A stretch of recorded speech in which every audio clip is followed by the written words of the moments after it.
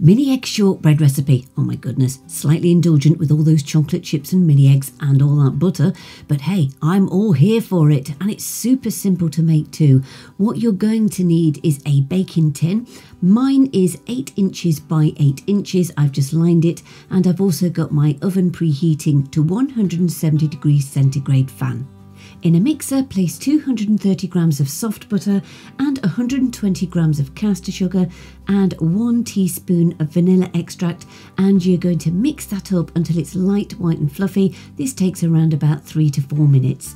Then you're going to add in 340 grams of plain flour. Now it can sort of stick to the sides a bit, don't worry, just get your spatula in and give it a bit of a hand. Um, but then you want to just sort of mix it up again until it's sort of starting to come together. Add in 100 grams of those chocolate chips, I'm using dark ones, and just mix it until you start to see that it's starting to come together like cookie dough. And yes, I did have a bit and it is delicious.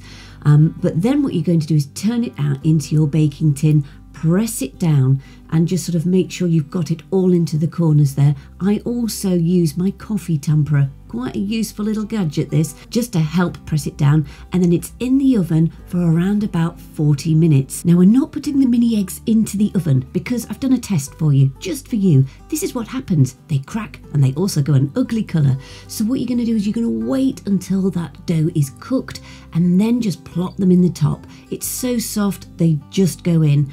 Then you want to just let it cool for a few more moments before you slice into it and then let it cool further so that they firm up.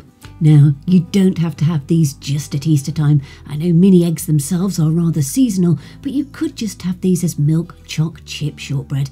They are absolutely delicious. Anyway, if you want the full written recipe, you know where to go by now. It's my website, cookingwithemily.co.uk.